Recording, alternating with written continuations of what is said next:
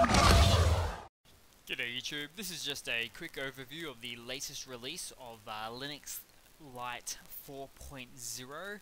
Now, just a, a, brief overview before I get into this one. It is an Ubuntu based distribution with uh, the, the, desktop environment is actually based off XFCE, but it's its own variant, which is pretty cool.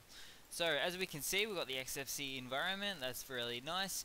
Uh, I'll, uh, what I'll do is I'll just open up the terminal and have a look at what we're working with with the kernel. So it is one of the latest uh, kernels, although having said that, 4.16 is the latest and 4.17 is in beta. So uh, it's still fairly up to date in terms of kernels, which is pretty good to see. Uh, moving on, uh, let's see the the file manager itself, let's open up that one and have a look. It's Thunar, very lightweight, obviously, file manager there, which is uh, very consistent with the, the overall theme of what Linux Lite 4.0 is doing. What I will also do is just uh, do a quick run check because this is a completely unscripted uh, video actually, very very late at night and as we can see Linux uh, Lite 4.0 based on uh, the latest version of Ubuntu which is pretty cool then let us also have a look at how it's doing for resources. Now here we go. I would say the, the CPU is uh, potentially idling there for the most part. It's only got one CPU. This is a virtual machine, so that's that.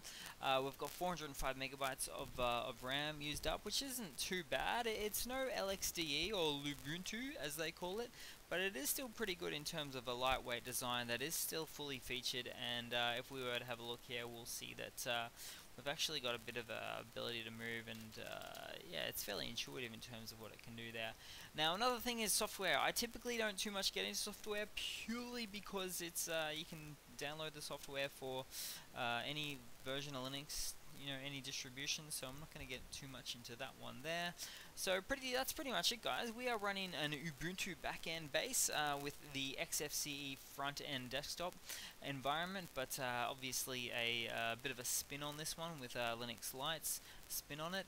Uh, the kernel is one of the latest. Uh, it's not too heavy on RAM usage but I have definitely have seen lighter which is a bit strange. It's about twice the RAM usage of Ubuntu or any LXDE desktop environment. So the fact that it has this name, Linux Lights, I'm not I'm not convinced to be honest, but otherwise that's pretty good. And last but not least, let's uh, see what we do to install. What's the update method? So if we were to perform a uh, sudo apt install update, uh, let's just throw in passwords. Unable to locate package update. Hmm. Actually, no, my mistake. Late at night, as I said. There we go. So it does use the uh, the apt or the apt-get uh, update method there, just like Ubuntu. No surprises there, pretty much, hey guys.